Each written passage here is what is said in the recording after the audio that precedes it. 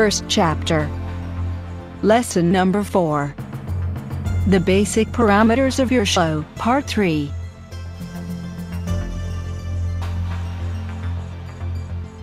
See the last tab of Windows Show option, the Soundtrack tab. To select it, click in the gray area below the title of the tab, or on a file when there's one. The edit box contains six inserts. The first displays your soundtrack in its analog form, as in the timeline or the editing windows. This allows you to see the intensity of your soundtrack and the shortest time, allowing you to synchronize your slide with music. This insert also includes two control buttons. Preview, open the file in an internal player, and play it. Editor allows you to edit your audio track in an external program. Below on the left, you have the insert, track setting. It allows you to edit a track by track, the sound level, fade effects at the beginning and end, the mixing timer waiting between two soundtracks, and an order opening editing window for fades and duration of your track. Just below, the Insert Soundtrack Tools. It consists of three special commands. The first allows you to take a soundtrack directly from an audio disc. The second is an interactive control, allows you to synchronize the time with respect to levels of music. And finally, the third automatically put the length of your show to the length of the soundtrack. Right, the first insert, the master volume, allows you to settle the noise level of your show. It acts on all soundtrack at the same time, and allows you to reduce or boost the global level. This can be very useful, because you will notice that this command has settle the volume from 0 to 200%. If you have a soundtrack of low intensity, you cannot increase the volume and it's individually controlled. But with this command, you can bring it to an optimal level and reduce up independently from other soundtracks in their individual trimmings. We will see this in detail later. Just below, you insert default for slide sounds. Each slide can contain separate audio tracks or video also contains an audio track. This insert allows you to be paid their default sound levels, as well as their time to fade. Of course, you can always adjust its values sound by sound, using the same command them. We also see it further. Finally, the last insert, soundtrack during slide sounds.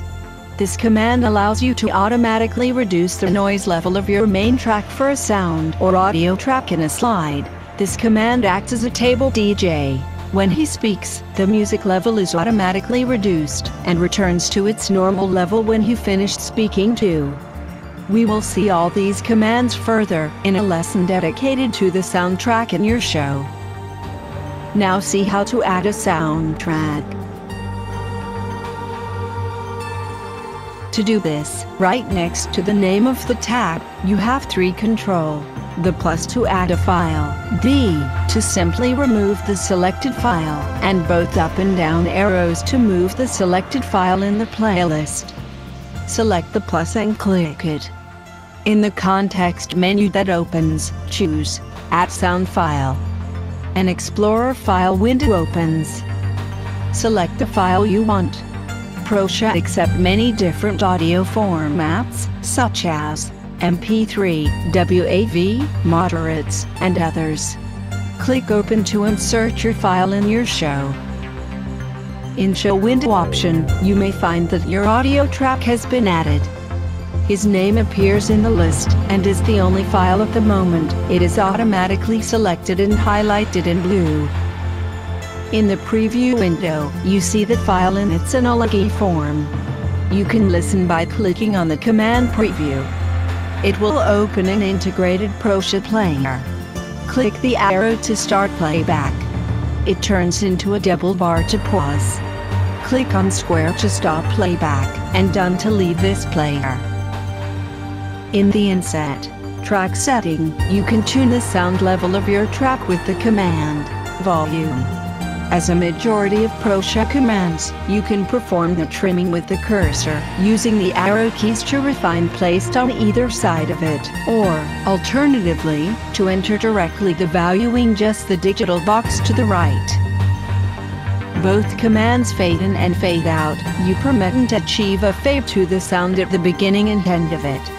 We'll see with the edit fade zoom timing. The offset command to determine when compared with the end of the previous track, this track is starting. If the time is negative, it begin much time before the end of the preceding track, and thus, will be mixed with it. If it positive, there will be a wide equivalent time between the previous track and it. Here the time is expressed in seconds. The edit zoom timing allows you to open a more comprehensive editing window. Click it to open it. In this window, you view analog your file with a timeline.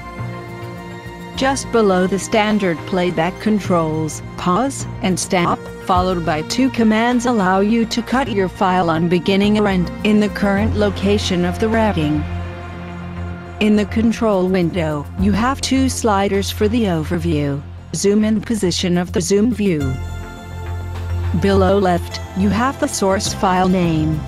It included the location on your computer and the length of the file. Right, there are four commands control file. Both start and end controls allow you to select the part of the file you want to use. You can either directly enter the time valuing numeric fields or through the upper two sliders, wide arrows by clicking on them and moving.